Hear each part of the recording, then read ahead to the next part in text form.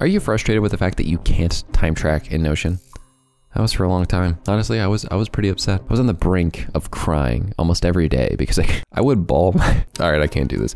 In all seriousness, it is kind of annoying that there's no like native time tracking function like maybe there is in something like ClickUp or other applications like Sunsama. And while you can't time track in Notion, I have a very simple solution for you.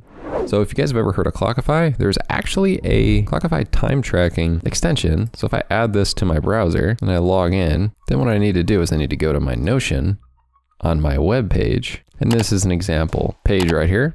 Then if I log in to the extension, you'll see if I open a task like this, right here, it'll say start timer. So if I press start timer on this, YouTube videos to complete today, it'll pull in this, and then I can quickly take something like side hustle and press done. And this stuff ain't built, I ain't building myself on this.